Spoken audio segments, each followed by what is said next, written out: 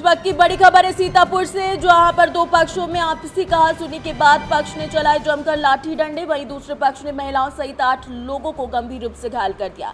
सूचना मिलते ही मौके पर पहुँची पुलिस ने घायलों को मेडिकल के लिए भेजा।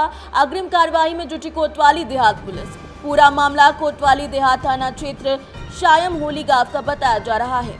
ये क्या हुआ था? किस लिए मारपीट हुई है? ये हमारा भाई आ रहा था दुकान से उनके उनके घर के पास से जो रास्ता है वो अपने घर में बैठे थे प्लानिंग करे हुए। वहीं पे उसको गिरा लिया और मारने लगे लाठी और डंडे से।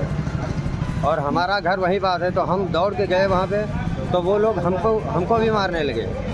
फिर जो हमारे घर से दौड़ के गया बचाने के लिए उसको लोग मारने ही लगे। कितने लोग थे वो थे पंद्रह बीस लोग ज़्यादा भीड़ थी तो इसलिए कुछ समझ ही नहीं मिला क्योंकि हम लोग समझ लो कि बचने के लिए हम लोग भाग रहे थे। कितने लोग आपके यहाँ से घायल?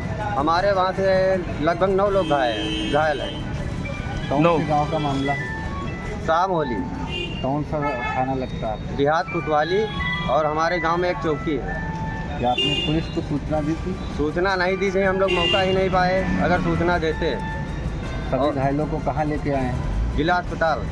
यहाँ कितने लोग भर्ती यहाँ हैं लगभग आठ वार्ड लोग। और नौ लोग घायल हैं? हाँ नौ लोग हैं। उधर की पार्टी के कितने लोग घायल हैं? एक आदमी। उसके थोड़ी सी खरांच लगी है। उसको मिला के दस लोग घायल हैं। हाँ। पुलिस को सूचना नहीं करी आपने? पुलिस को सूचना करने का मौका ही नहीं मिला। हमारे अच्छा किस बात को लेके ये विवाद हुआ है? ये विवाद हुआ है कभी जो है लड़ाई हुई थी इनके घर से वो इनकी एक भैंस थी वो हमारी भैया जो है छोटी उसको तेज़ी से पटक दिया था उसके पेट में बच्चा था। उसका बच्चा भी मर गया था लेकिन फिर भी इसने कुछ बोला नहीं। और ये लोग वही फसाद लेकर आज तक बैठे रहे कहने लगे कितने दिन पुरानी बात है ये? ये लगभग एक साल पुरानी बात। है पुरानी रंजिश के चलते आज मारपीट हुई हाँ ये वही रंजिश थी लेकिन हम लोग जो है वो रंजिश भूल चुके थे। लेकिन ये लोग जो है कहने लगे इलाज करवा लो हम पैसे दे देंगे भैया जो हुआ तो हो गया और भूल जाओ हम गरीब आदमी लात किसके मारी थी? हैं। लात मारी थी हमारी भैया के। भाभी आपके भाभी के?